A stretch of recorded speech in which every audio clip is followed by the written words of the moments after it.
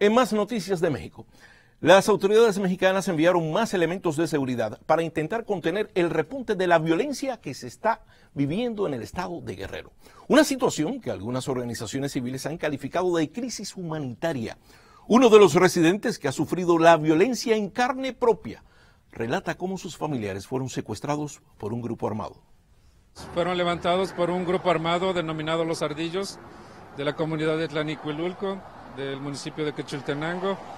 Y tres días después, el sábado 29 de noviembre, fueron localizados cinco cuerpos desmembrados, decapitados, eh, parcialmente quemados. Los masacraron. Ahora bien, algunas organizaciones civiles señalan que hechos como esos se han suscitado a lo largo de los últimos años, llegando a provocar una situación que califican de insostenible. Tal es así que, como ven en pantalla, el pasado domingo, unos 400 integrantes de un grupo de autodefensa denominado Coordinadora Regional de Autoridades Comunitarias marcharon por las calles para exigir seguridad. Salimos a marchar con el maño blanco, anunciando que no estamos ni queremos la guerra. Sin embargo, compañeros, las armas no las vamos a soltar las armas no las vamos a soltar.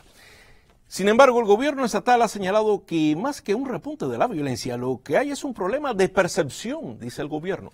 No obstante, las estadísticas del gobierno federal señalan que de enero a octubre, en el estado de Guerrero, se han registrado 2.381 homicidios, mientras que en igual periodo, pero del año pasado, reportaron 2.222.